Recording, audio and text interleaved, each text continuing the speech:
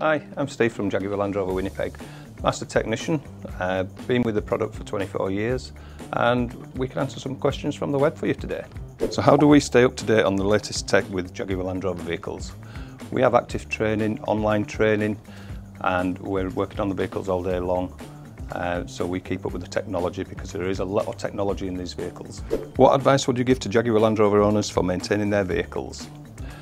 To keep them service regular, keep them coming back to the shop for checkups, uh, get a professional inspection done and keep all the software up to date on the vehicles because there's a lot of technology in these vehicles. What specialised training have you received to work on Jaguar Land Rover vehicles? We have regular online training, uh, regular classroom training, and we're always training for the new models and the new engines and transmissions just to keep everything up to date so we're up to speed. What are the common wear and tear items on Jaguar Land Rover vehicles?